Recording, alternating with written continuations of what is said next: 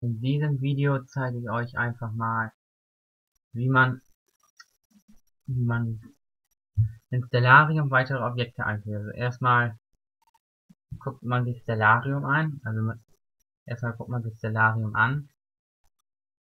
So, Stellarium. Und dann will ich einfach mal hier die Nacht, da sieht man hier schon Februar, ein Na Objekt namens Februar. Das ist ja nicht wirklich da. April, Mai, Juni, Juli. Diese Objekte existieren gar nicht in echt. Deswegen einfach mal gucken, wie man das macht. Und zwar geht man hier, drückt man Windows-Taste und R, hat man Prozent App-Data Prozent, wie man bei Minecraft-Sachen noch schon eingeben muss. Da muss man hier in den Stellarium-Ordner, dann hier in den Data-Ordner und dann in den S-System, dass man den so öffnet, dass es so schön hintereinander strukturiert ist. Und dann habe ich jetzt hier die Objekte so eingefügt. Da ich das im Juni gemacht habe, ist der Juni das erste. Also ich werde das natürlich in die Beschreibung stellen, so was hier. Das ist jetzt hier Juni. Ich füge jetzt nochmal ein, Und das, das nenne ich zum Beispiel einfach Tutorial. Also das, der Name, muss man hier, glaube ich, bei beiden eingeben. Heaven Sun, also der Umkreis Sonne, Radius, ist der Radius in Kilometern. 4000. Kann ich auch auf 10.000 oder 20.000 stellen. Hallo weiß ich gar nicht, was das bedeutet. Und Color ist Rot, Grün, Blau. Also ich will zum Beispiel einen grünen Planeten haben, der zumindest grün leuchtet. Der soll grün leuchten.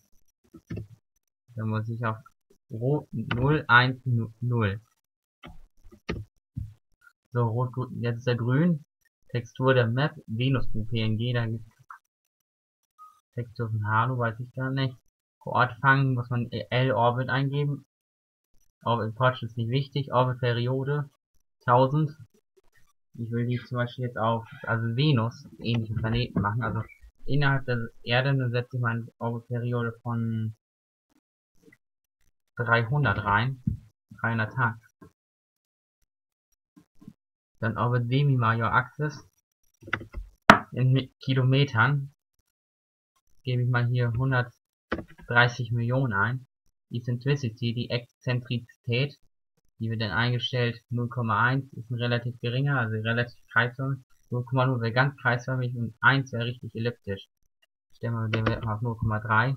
Inclination ist die Neigung relativ der Erde zur Sonne. Stelle ich mal auf, lasse ich mal auf, na, stelle ich auf 4. Ascending Node heißt aufsteigender Knoten.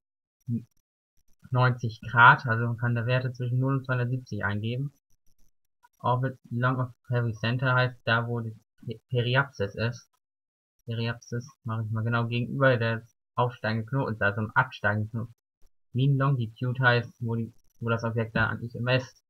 Also 0 heißt, das steht bei einer gewissen Zeit, weiß ich gerade nicht welche, aber steht dann bei 0.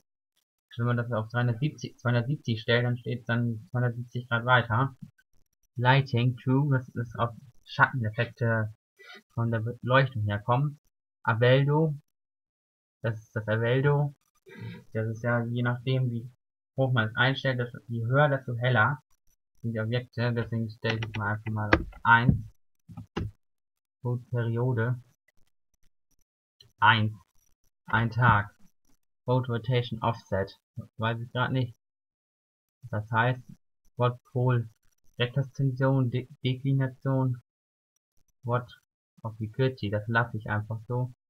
Atmosphäre 1, Typ Planet. So ist das jetzt hier eingeben und kann man jetzt xen und jetzt hier auf Speichern klicken und Stellarium neu starten. Da müsste nämlich das jetzt übernommen worden sein. Ein Objekt, ein grünes Objekt namens Tutorial muss jetzt irgendwie im Himmel sein. Gucken ob es vielleicht, da, da ist es, ja. Dieses Objekt habe ich jetzt eingefügt.